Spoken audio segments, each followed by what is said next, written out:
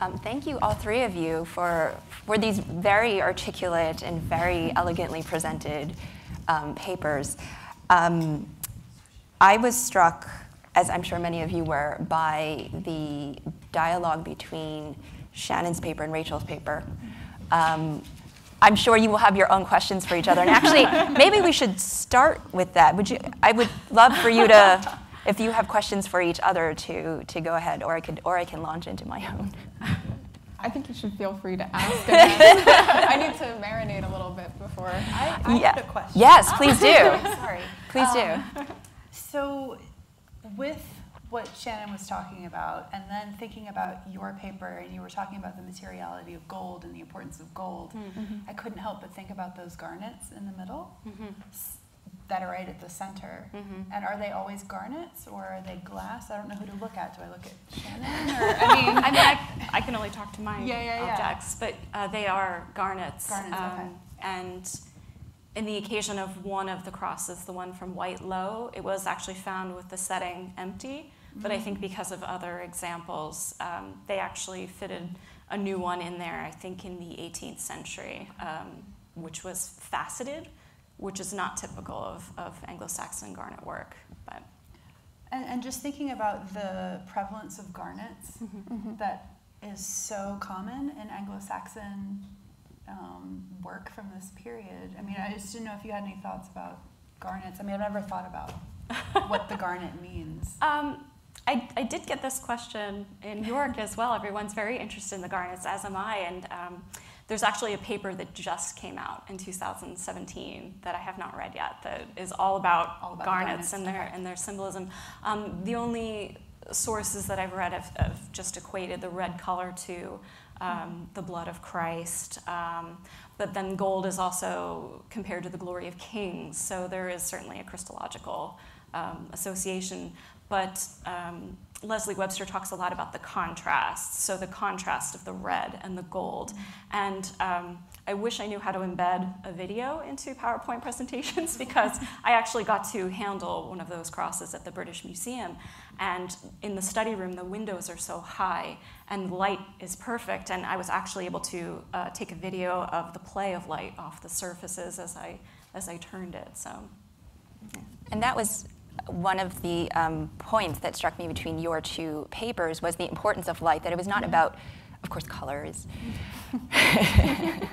comes from light, but but the idea of of light and not color as the focus of the the theory.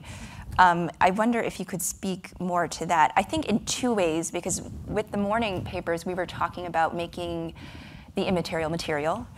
Um, so there's that's one line of thinking. Another another line of thinking that I saw in both of your papers was um, Rachel, in your paper, you were talking about the the use of light as a reaction to environmental conditions, and in Shannon, your paper, you were talking about the the use of you know recreating light uh, as a way to control nature. So I wondered if you could talk to both of those points. Um, I mean, I can, I can start by saying that there's just a vast body of scholarship on the importance of light in Byzantium. It's one of the most recurrent themes of their sort of what they valued in terms of aesthetics. So in ekphrases or descriptions of churches or decorative programs, it's just light this and light that and reflection this and mirror that. And if you just look at the prevalence of mosaic as a um, as a decoration strategy, you can really see it. Um, what I think is interesting in the case of this recipe is that they're not interested in light that reflects. They're interested in something that gives off its own Mhm, light. mhm. This is a different kind of power. This is something that lets you do things that you could otherwise not do um, with natural light. So this is a, a kind of, I don't want to say supernatural because it's something that happens in nature and they're, they're very clear about that, but it's a powerful thing. It's, it's an, a sort of special kind of light. Um, and that's what's really interesting. And like Rachel, it, I wish I could embed a video. the most, the interesting thing to me is, is the antithesis. It was the antithesis of what I was expecting, which is Byzantine enamel looks like it would reflect a lot in bright light.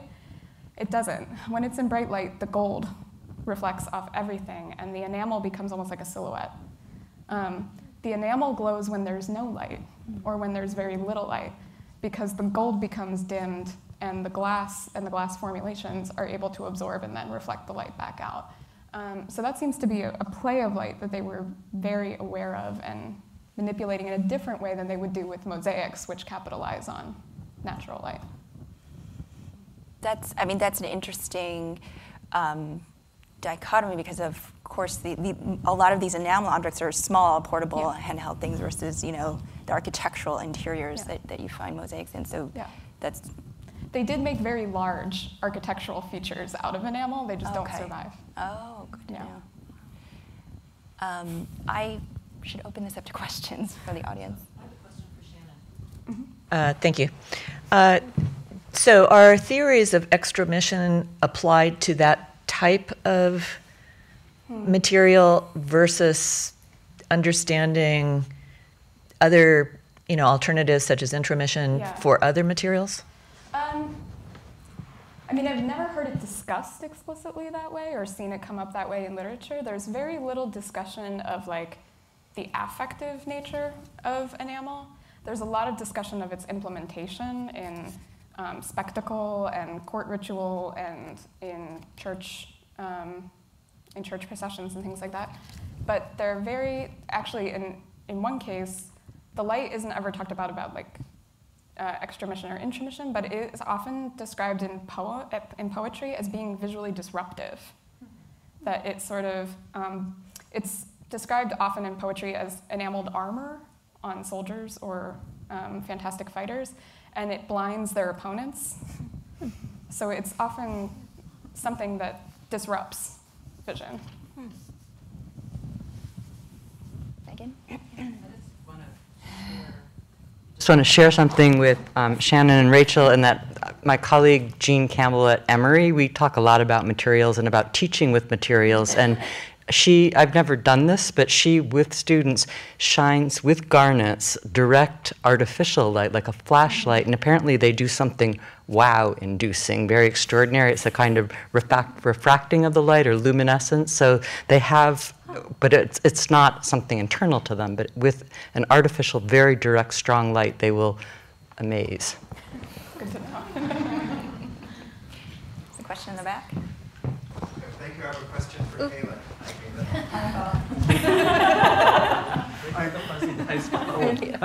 My goodness.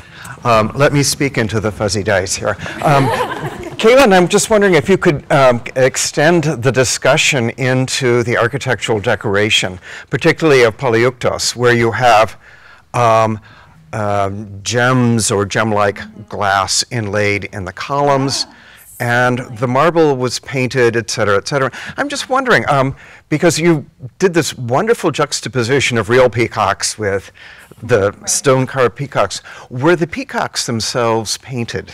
That's a great question. Um, and there's a lot of debate about whether or not those peacocks in St. Polyeuctos were painted. We know that the inscription that surrounds the peacocks that they definitely had a blue background and the letters themselves were probably gilded, which is very similar to the types of um, church inscriptions that you see in places like Rome that are still extant in mosaic, for example. The peacocks themselves, though, it's hard to know if they were painted um, because we don't have any pigment that survives on them.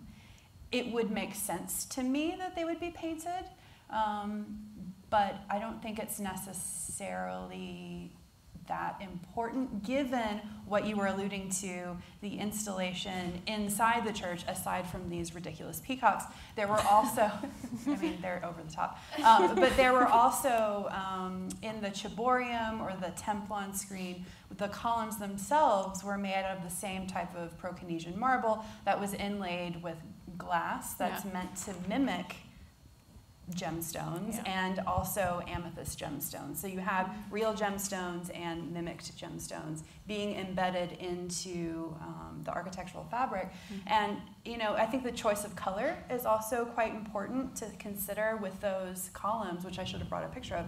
Um, but these columns, so they have gold glass um, that would have surrounded each of these um, sort of cabochons of green glass and also of amethyst. And so these are the colors of peacock feathers. So it's another layer of this peacock imagery kind of pervading the interior of that really over the top space, sacred, sacred space, which is important to remember.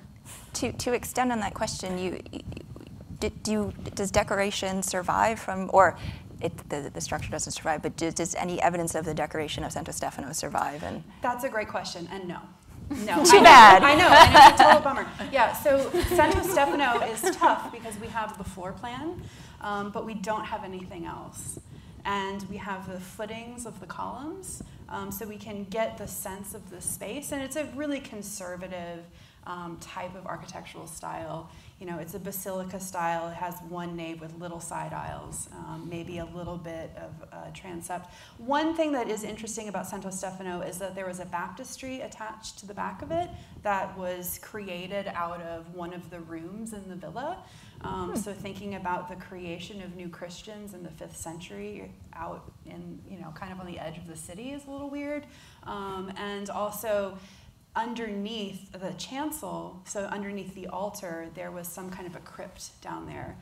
Unfortunately, there were no relics of Stephen there, um, but a lot of people have wondered whether or not, you know, could this have been intended for um, some kind of a space where relics could have been kept. But that's that's as far as we can go. We do have, and I showed the example, we do have some of the, um, the marble sculptures from the villa, which was still on display at some point while the church was still in use. So you have some of these classical sculptures that are still decorating the rooms that are, um, you know, kind of supporting the sides of the church, which is really interesting. So thinking about that play of this Christian sacred space rising out of this thoroughly pagan, this old Roman villa, but that's as far as I can go.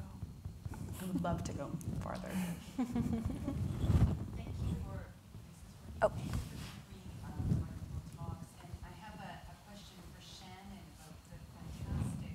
Uh, uh, x-rays of the enamels um, that you were showing, and I was really struck by this use of the, the, the gold wire for cloisonné, but that's not actually making cloison, that, but rather it's giving us sort of um, modeling effect of um, further shaping how light is reflecting and refracting.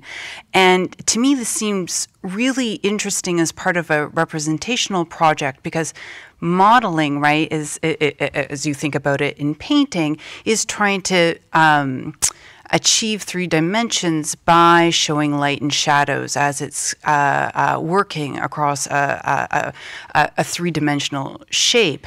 And actually, you're getting the same effect or kind of um, striving for the same effect, but using completely different means of using gold wire and light and glass. And I just wanted to um, um, see if you've been thinking about it in that ways or in that way, or um, if you had other thoughts about kind of mm, the representational qualities um, um, paired with the, the, the technical work that you're doing, which is fabulous. So I have to say that it's kind of a paradox. So it looks, when I show it like this, like the, the cloisonne wire, which is not visible, it also, it would seem to make sense that it would be sort of um, pushing the level of the glass up to create these modeling effects that you're talking about, but it doesn't. But, but you see it with the, the difference in light. You, you don't actually. Only when it's un, under transparent glass. When it's under the opaque glass, you can't see it whatsoever. Um, so enamel is always um, polished all the way down so that it's level with the metal. So if so, it would actually you would be able to see those wires. Um, they would be sort of. It would it wouldn't you would they would have to be raised to such a degree that the glass wouldn't be able to cover them to create these modeling effects. It's hard to I'm having a hard time describing it. Are the cloisons that are hidden, are they shorter? They're shorter. So, okay. So they're shorter. So they don't actually affect the refraction of light on the surface of the glass. So when it's transparent. When it's transparent, it does, because then the light will hit, will pass through the glass and bounce off the submerged wires. Um, so I've asked myself this question, why are the um, wires that can't be seen under the opaque glass, why are they why are they sort of figural? Why are they modeling hair or um, expressions of the, um, the forehead and the hands? And part of it is practical, part of it is it helps the glass adhere and keep, prevents it from cracking and breaking and falling out.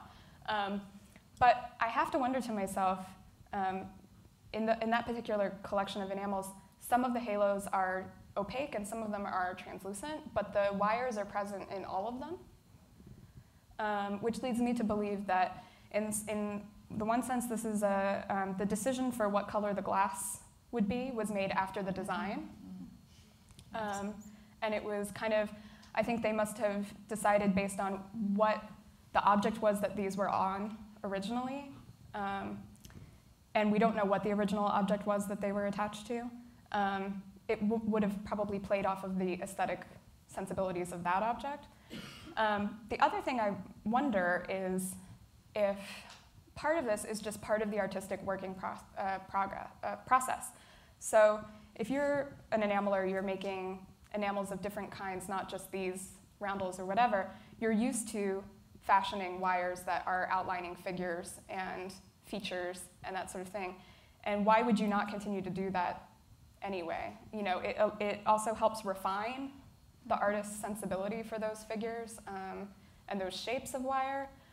Um, but it's something I'm still working through because it's that's I, I, got to the same conclusion you did that it was creating different effects of light on the surface of the glass, but it only does that behind translucent fill, not under the opaque ones, and they were still doing it. And it's not just on this object, it's on objects in Venice, it's in objects in, um, in uh, Georgia, and things like that.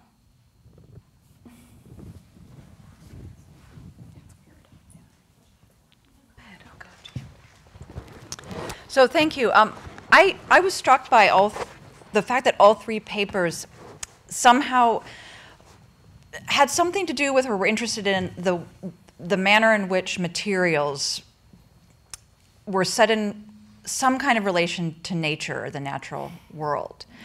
And I know, I mean, I'm a scholar of the 18th and 19th century, so I know my nature is not your nature. Um, but, and what I'm about to say might grossly simplify what each of you was arguing, but it, it, it struck me that each of you was describing a different kind of relation between materials and nature.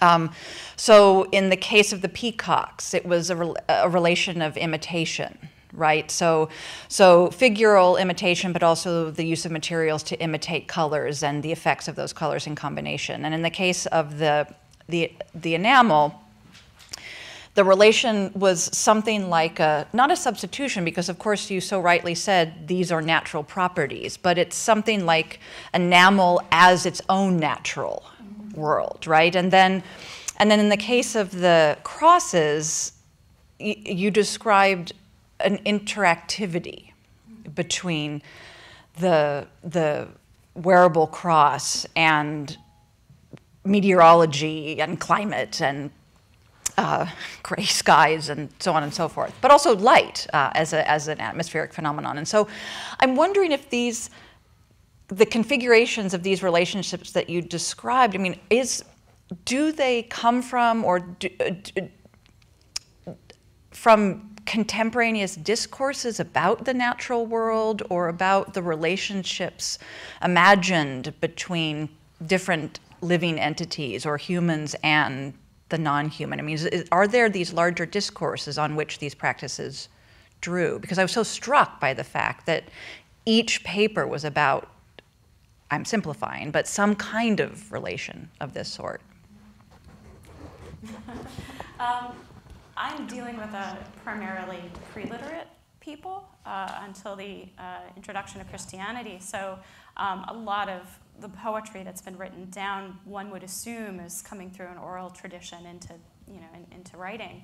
Um, but the natural world uh, is only described in poems like The Seafarer or um, St. Guthlac's writings uh, because he decided to be a hermit in a very unpleasant place. Uh, so um, it's really only in, in, poetry that we find that in the Anglo Saxon world um, and not really anywhere else. Um, as C.R. Dodwell points out, that's the only mention of the actual physical environment. When it comes to interaction with the animal world, there's certainly more description of that. Um, but I, I just thought, I was just struck by the fact that the Old English language had specific words, not just for red, blue, green, but varying brightnesses. And I thought that that was the strongest argument to argue for a sensitivity to light in that particular environment, which they had been in for some time.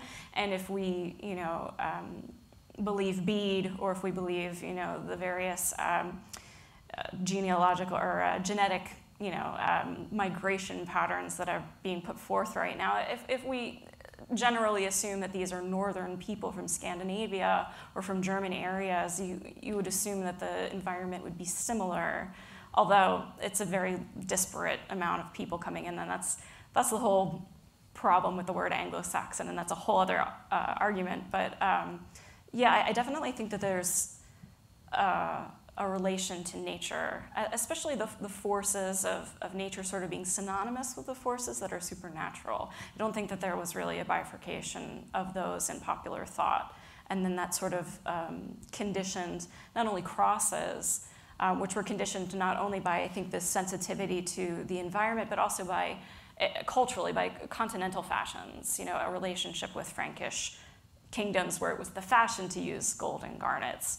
Um, but I, I, definitely think of, of all the fashions they could have chosen, um, there must be some other reasons behind it, you know, that, that, are more deeply biological. I think there's a lot at play. You can't reduce one to culture. You can't reduce one to biology. So is there? I mean, just to follow up. Is there is there a reason to look at those those period descriptions or, or, or configurations of human animal relations to get a sense of what relationality as such mm-hmm. was conceived, uh, how it was conceived of in the period, so that you might develop a kind of armature or framework for thinking, okay, well, if this is period understanding of relationality, mm-hmm. how might that help me describe this network of relations that's being established among. Atmospheric phenomena, materials, and, sure. and bodies. That, that seems yeah. like a place you might want to go. Absolutely, I absolutely agree. I mean, the amuletic tradition, uh, one of my slides had a beaver's tooth, which was uh, very yes, yeah. very prominent in female graves, as are these crosses are most prominent in female graves. So that's an interesting relation. Yeah. And um, in other parts of my research, I've actually talked about um, helmets from this period.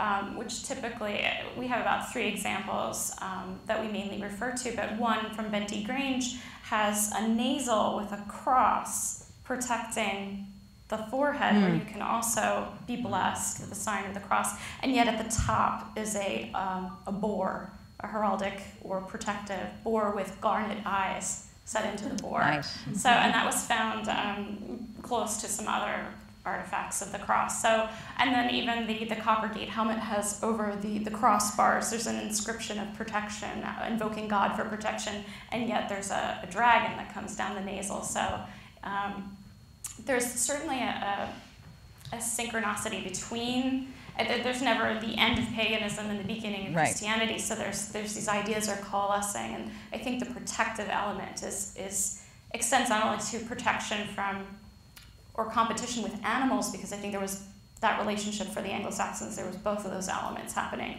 and then this protective quality of the cross. So merged into certain elements like the or certain objects like the Benty Grange helmet. Um, just to jump off of from the animal discussion. Yeah, you jump into peacocks. peacock person. Um, so the the peacocks are interesting. Um, we have lots of descriptions of peacock, lots of ancient descriptions of peacocks. Um, their behavior was known. They were bred I mean, in my dissertation, I go well into this. I'm going well into it, so I get excited. Um, but so there's lots of discussions about this, and they're, they're also used in poetry. Um, and I think most interestingly for these patrons, which unlike Rachel's, they are highly literate. Um, the Anicii were, Anicia Juliana especially, she would have been raised in a very classically educated household. Um, and in those educational settings, they were, um, in late antiquity, they would be doing these um, ekphrastic exercises where they would recite and they would um, write down and copy from memory these descriptions of all sorts of things, from buildings to plants. And there's one really lovely example that, in a longer version of this paper that I gave a few years ago, um, is an ekphrasis on a peacock and what a peacock does. Hmm. And it's not just a peacock walking around with its tail down, because that's not exciting. It's a peacock with its tail spread.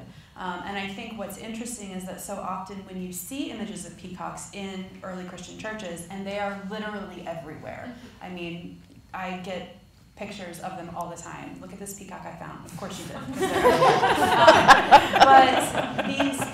It's true. It's true. um, but these peacocks, what, what is so significant about them is that they aren't the kind of docile images of them with their tails down. They are actually in this aggressive pose. I mean, when peacocks, if anybody's been to a zoo or been to, like, I guess, some rich person's house, and they have peacocks walking around, they're very aggressive and they're loud and they're obnoxious. And when they have their tails up, they're in a, a gesture of mating. So it has to do with this aggression. I think that in some cases is pushing against the boundary of what is and is not appropriate um, for inclusion inside a mm-hmm, church. Mm-hmm. Um, and I think that you know you can have mosaics of peacocks with their tails up. So at San Vitale, in the presbytery of the, the kind of groin vault over the presbytery, there are peacocks with their tails up, but they're not. It's not as conspicuous as it is um, in St. Paul where it literally is a gauntlet. You walk in mm-hmm. and you would have just been bombarded mm-hmm. with these images. And it's very possible, given what we know about garden culture in late mm-hmm. antique Constantinople, that Anicia Juliana, on the grounds of her palace, could have had peacocks mm-hmm. walking around. I mean, that was also a status symbol. So it's very, very possible that people going to the complex could have passed by one of those loud, obnoxious peacocks and then walk in and they see all these quiet ones, thankfully. Mm-hmm. But yeah, it's interesting. So they are very much part of um, the classical and then into late antiquity. They're still they're still continued, mm-hmm. and in medieval Byzantium too. Yeah, I God, mean, they love them. I'll keep it a brief answer to this, which is that again, I'm dealing with a highly literate section of the Byzantine populace. These are scholars who are writing these alchemical texts, and we don't know exactly who they are, who, how they're learning, but they're very literate people and they're drawing on a long literary tradition. What I find most interesting about the alchemical texts in Byzantium, which are very understudied, there's a small group of people working on them, but they're, um, they're not a full part of like the Byzantine studies canon as of yet. Um, they are all about nature. They are trying to understand nature through artistic um, techniques, which is um, where I've drawn upon Pamela H. Smith, um, because I do believe that these scholars are actually using interaction with artisans to learn about things like geology and metals and um, even bread baking or explosive making or whatever.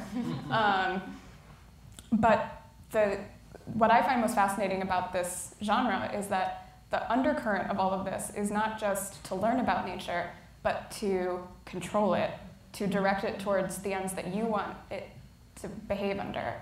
In some cases, that means artificially reproducing it, it means accelerating natural processes, um, or even um, making a natural process have a kind of surprising end that it wouldn't, natu- it wouldn't have on its own.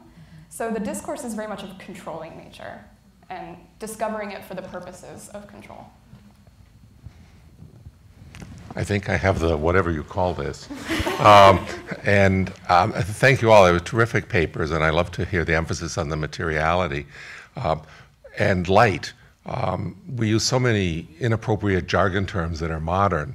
Um, illumination is actually a medieval term, um, and it's not about color; it's about brightness, and with a lot of scriptural connotations as well.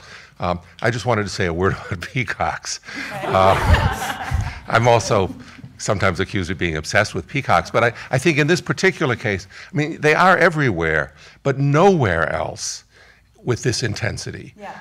As the, the super subject. And, and I, I just wonder whether, since your project is about the assertion of aristocratic privilege, mm-hmm and in a family that does have such strong classicizing roots, whether the fact that the, the peacock is Juno's bird Yeah, um, absolutely. is is Yeah. really she's making a claim Yes. about um, Her- her own uh-huh. she should be queen. Oh, absolutely. Um, and that, and certainly Anicia Juliana, for those of you who are not, you know, as you know, into this as I am. Um, Anicia Juliana, she, when the pre, the emperor, the two emperors before Justinian, um, she thought that her son should be emperor, and he was passed over for um, Justinian's uncle, um, and then Justinian took power. So um, there's this, you know, sort of we don't it's an apocryphal story we don't know how an anecdotal story about um, justinian visiting st polyeuctos and um, going there to collect money from her right so every, yeah, you know the story